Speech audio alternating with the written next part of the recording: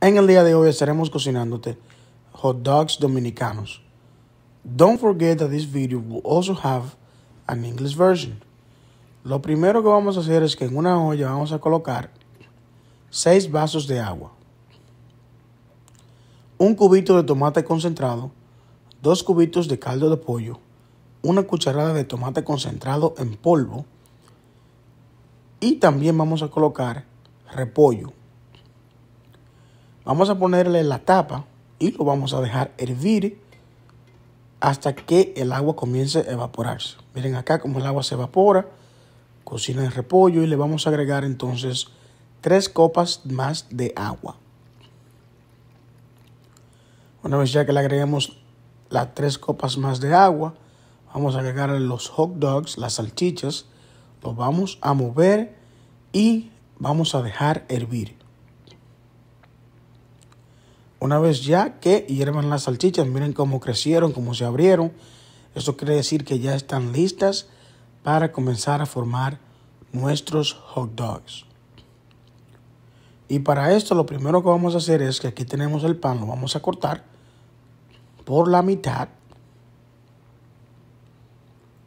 Y vamos a comenzar a realizar, a formar lo que serán nuestros hot dogs dominicanos. Y para eso vamos a comenzar aplicándole una base de mayonesa. También le vamos a poner ketchup. Y también vamos a colocarle mostaza. Amigos, esta receta es una receta bien fácil, sencilla. Es muy popular en la República Dominicana. Y la puedes encontrar en cualquier tipo de food truck. De esas food trucks que puedes ver en las calles, en las esquinas, en las aceras, en las aceras vendiendo comida rápida. Esta es una receta que la puedes encontrar muy fácil, pero si no puedes salir, entonces ya tienes acá puedes hacerla en tu casa.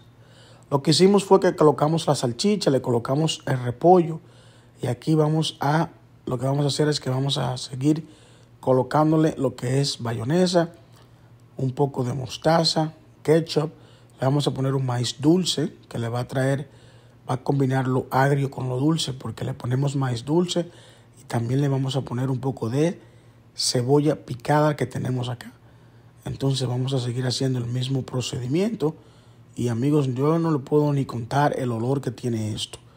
Aquí le ponemos lo que es la mayonesa, le colocamos otra capa de ketchup y vamos a terminar lo que será este hot dog dominicano con un poco de mostaza que estaremos poniéndole también acá. Aquí miren amigos la delicia de hot dog dominicano que hemos preparado en el día de hoy. Una receta bien fácil, sencilla, fácil de preparar, bien barata y le va a encantar. Este hot dog dominicano quedó totalmente increíble.